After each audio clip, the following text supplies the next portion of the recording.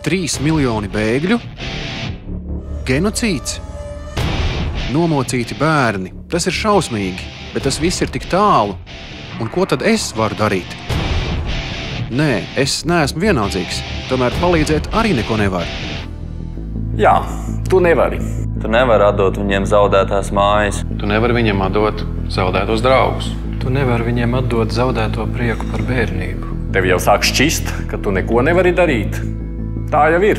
Vienam nekas daudz nesanāks. Tu vari. Tu vari. Tu vari. Tu vari.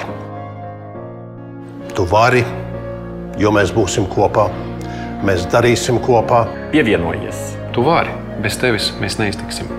Nesēd uz rezervistu soliņa. Iesaisties. Iesaisties. Iesaisties. Vai zināji, ka mīlestību var izmērīt? Jā, arī kurpju kastēs. Es jau piepildīju šo kurpju kastu ar dāvanām. Kas ir viena kurpju kaste? Nekas daudz. Bet tā var vienam bērnam dāvāt cerību un ticību labajam. Tu vari iepriecināt Irākas un Sīrijas bēgļu bērnus. Aicini palīdzīgā savus draugus. Piepildi kurpju kastīti līdz 12. decembrim. Līdz 12. decembrim. Līdz 12. decembrim.